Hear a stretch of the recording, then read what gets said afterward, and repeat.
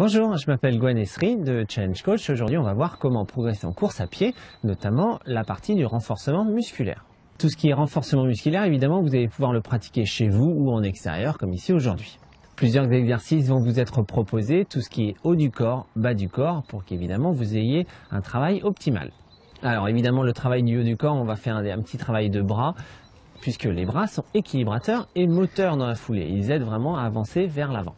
Le travail des bras peut se faire sur un exercice basique que vous connaissez tous et toutes, les pompes. Soit on va le faire sur les genoux, soit on va le faire euh, en pompe complète, c'est-à-dire on appuie que sur les pieds ou que sur les mains. Alors, donc le travail des pompes, on va pouvoir le réaliser comme ceci. Vous écartez bien vos mains de la largeur de vos épaules.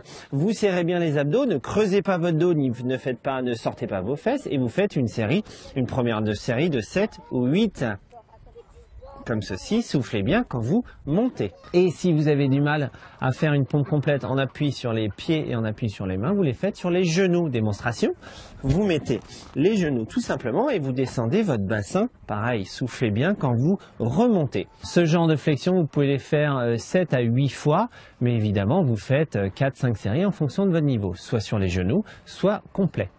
Un autre exercice pour travailler le haut du corps, les abdominaux. Évidemment, les abdominaux serviront à ne pas s'écraser, surtout en fin de course. Pour travailler la partie abdominale, vous allongez complètement, les jambes sont bien fléchies, le dos est bien à plat. Vous mettez vos mains ici ou vous mettez vos mains directement sur les cervicales. Attention à ne pas tirer votre tête, restez bien la tête dans l'axe du corps. Vous montez et vous reposez. Vous montez et vous reposez. Vous pouvez faire 20 flexions comme ceci mais par contre par série de 3 à 6 en fonction de votre niveau.